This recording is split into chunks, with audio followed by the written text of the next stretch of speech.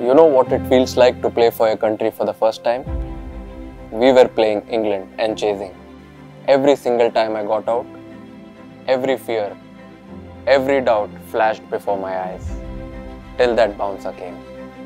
The very first ball I had to face. I went numb. But I believed in myself. And the next thing I knew, I hit it for a six. You know, self belief is a funny thing.